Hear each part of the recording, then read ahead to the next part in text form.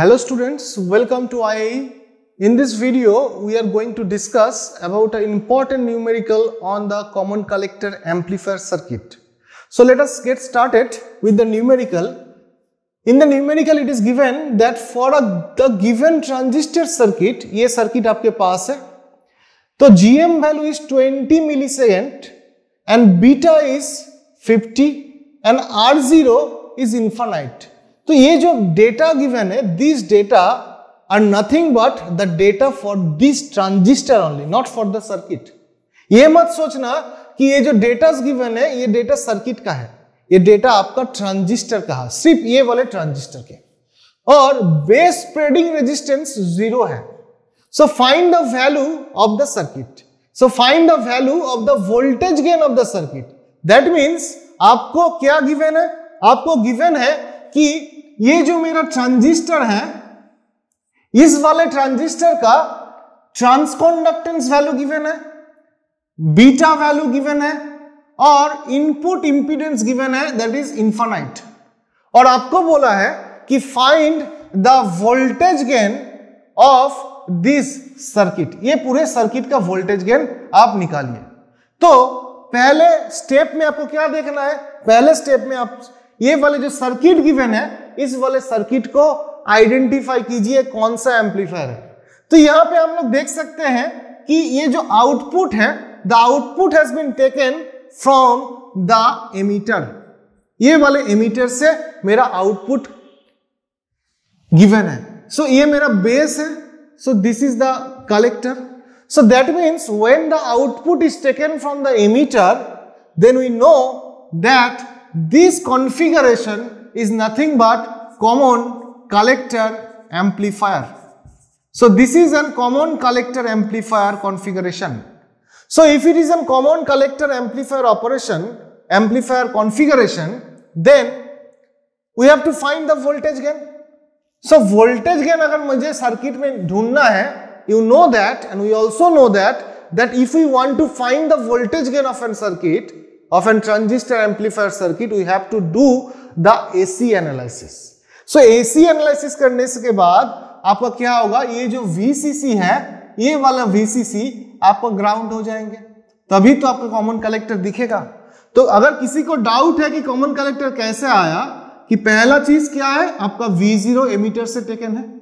और दूसरा चीज़ कि आपका जो AC एनालिसिस करेंगे, तब आपका जो कलेक्टर टर्मिनल होगा, वो कलेक्टर टर्मिनल आपके ग्राउंड चले जाएँगे। Because VCC be grounded so at that moment the transistor circuit will behave as an common collector circuit now we have to find the voltage gain of the circuit voltage gain of the circuit का मतलब now I am writing the voltage gain of the circuit so so, circuit का voltage gain मतलब ये पूरे circuit का output voltage that is V zero this is V zero divided by the input voltage of the circuit input voltage क्या है? V in so this is V in so मुझे ढूंढना है V zero by V in और आई अब ये जो transistor given है दिस ट्रांजिस्टर एक एनपीएन ट्रांजिस्टर है. So, इस एनपीएन ट्रांजिस्टर में मेरा जो ट्रांसकॉन्डक्टेंस वैल्यू गिवन है बीटा वैल्यू गिवन है आर ज़ीरो गिवन है. नाउ ये जो ट्रांजिस्टर है, ये ट्रांजिस्टर का तो खुद एक गेन होगा, क्योंकि कॉमन कलेक्टर कॉन्फ़िगरेशन पे है। So this transistor let us assume that this transistor is having a gain of A V dash so A V dash is the gain of this transistor, and let us also denote that the voltage gain of the circuit is AV. So AV और AV dash में थोड़ा अंतर है। ये मत समझना कि voltage gain of the circuit और voltage gain of this transistor only ये दोनों सेम है, दोनों अलग अलग है, क्योंकि ये सिर्फ़ ट्रांजिस्टर का वोल्टेज गेन है और एवी आपका पूरे सर्किट का वोल्टेज गेन है। So now let us denote the input voltage to this transistor सिर्फ़ ट्रांजिस्टर के लिए let us define the voltage as V I dash तो मैं एवी को क्या लिख सकता हूँ? एवी मतलब आपका total voltage gain total voltage gain is equals to V zero by V I so V zero by vi so, the voltage gain of this transistor only, that is the av dash. Av dash क्या होगा?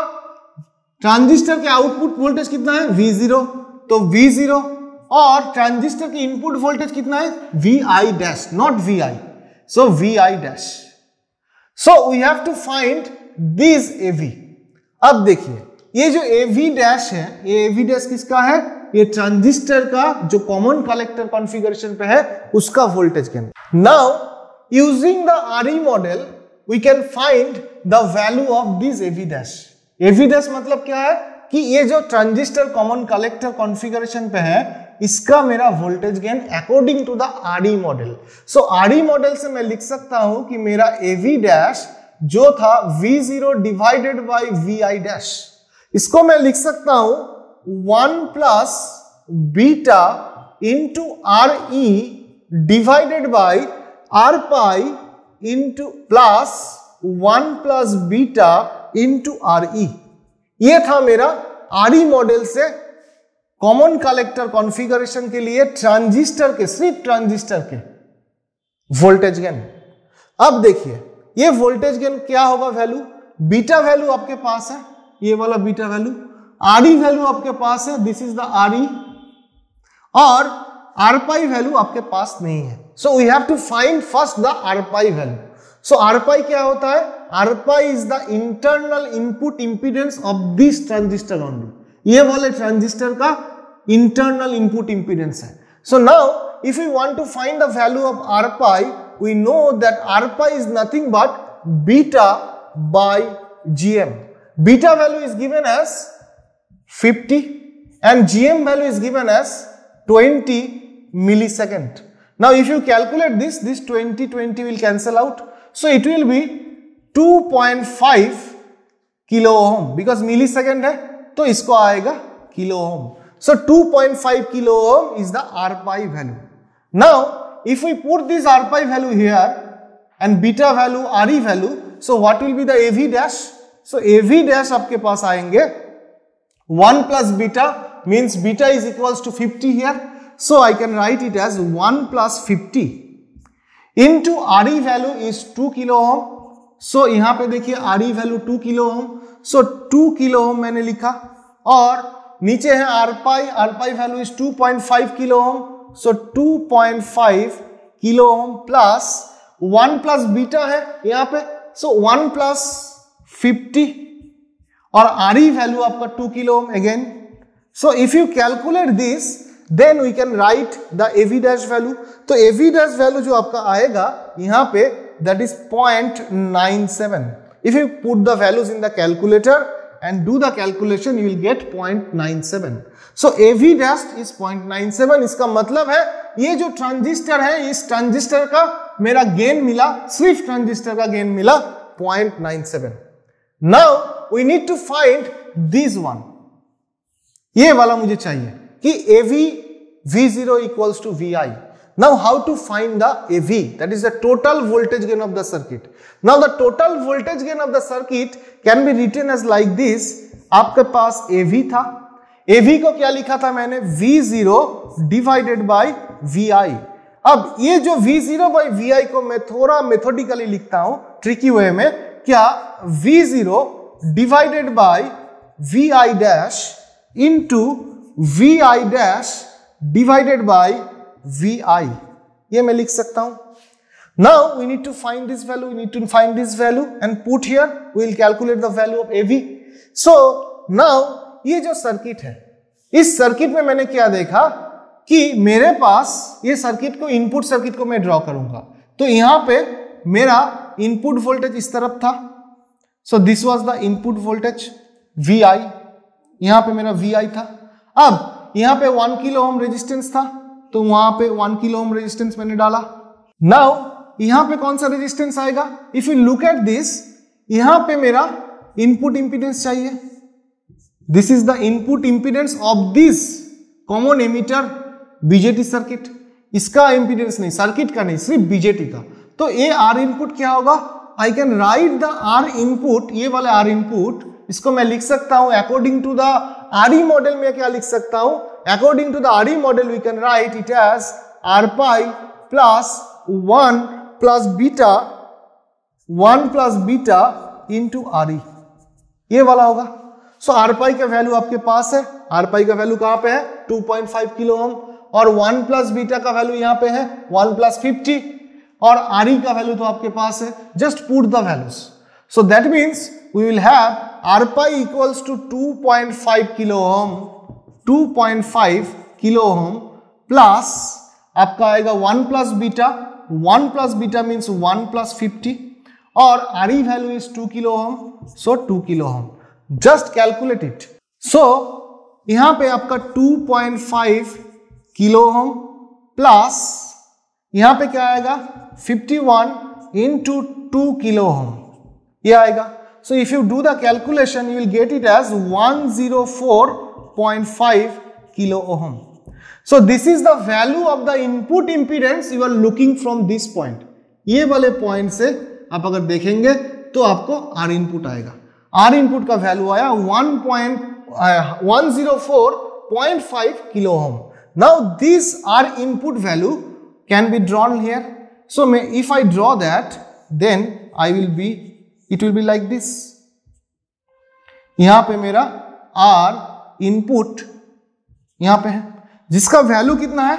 104.5 kilo ohm so this is the circuit right now now I can draw this circuit like this तो ये जो मेरा input circuit part था, इस input part को मैं ऐसे ड्रॉ कर सकता हूँ। और मेरा जो वी आई डैश है, ये वी आई डैश इसके अक्रॉस वोल्टेज होंगे। तो इसके across V I dash now मुझे ये वाला वैल्यू निकालना है। So V zero by V I dash V zero by V I dash कहाँ पे है?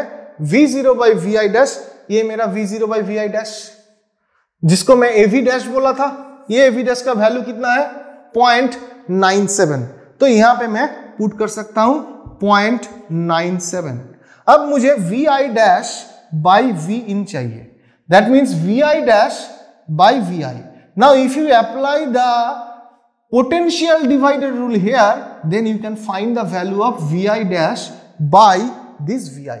So how to find the Vi dash by Vi? अब देखिए ये वाले सर्किट में मैं लिख सकता हूं कि Vi dash is equals to this potential, the potential across this R input is equals to V input, Vi into R input ये वाला 1.4 104.5 kilo ohm. So 104.5 kilo ohm divided by 1 kilo ohm. 1 kilo ohm plus this kilo ohm. That means 1 kilo ohm plus 104.5 kilo ohm so this will give us the value. So ये वाले value से मैं vi by vi dash vi को निकाल सकता हूँ। सो so, उस value से मैं निकाल सकता हूँ vi dash by V I तो यहाँ से मैं लिख सकता हूँ कि V I dash by V I will be equals to क्या होगा? V I dash by V I is equals to one zero four point five one zero four point five kilo ohm divided by one kilo ohm plus this one that is one zero five point five kilo ohm so, kilo ohm kilo ohm cancel out. So, i will get this data. Now, if you put this value here, so 104.5 divided by 105.5. So, if you do this calculation, you will get the potential as 0.967. So, this is the value of this result. If you put it in the calculator and get this value, you will get it 0.967 which will be the voltage gain. So, in this way, we have calculated the value of the voltage gain of this total circuit ये जो total circuit है, ये total circuit के voltage gain हमने यहाँ से निकाला कि कॉमन कलेक्टर एम्पलीफायर का सर्किट जो होगा, उसका वोल्टेज गेन क्या होगा। So hopefully enjoyed this video that I have calculated how to calculate the value of the voltage gain of a common collector circuit thank you for watching the video